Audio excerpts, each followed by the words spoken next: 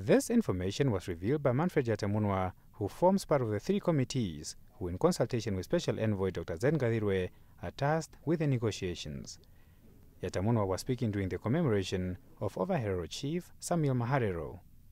We have submitted an amount that was calculated by experts in Namibia. Let me also mention that one of those experts is very know, much known in our society, is the Deputy Governor of the Bank of Namibia, Mr. Uanguta, is also part of that group of experts. Uh, and they came up with a figure of $1.3 trillion. So that is the figure that is currently being negotiated with the Germans. He also revealed that Germany has agreed in principle to issue an apology, even though they are reluctant to call the extermination order a genocide.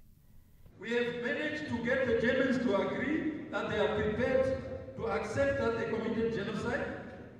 Secondly, they agreed that they are going to tender an apology from the highest office in their land to the highest office in our land.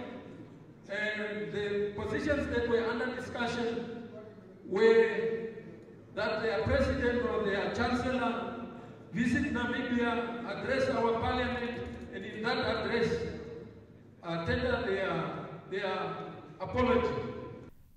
Yatamunwa says that once the arguments around the term genocide are resolved, the highest political leader in Germany, being the Chancellor, will visit Namibia and tender such apology in the National Assembly. Kanji, NBC News, Windhoek.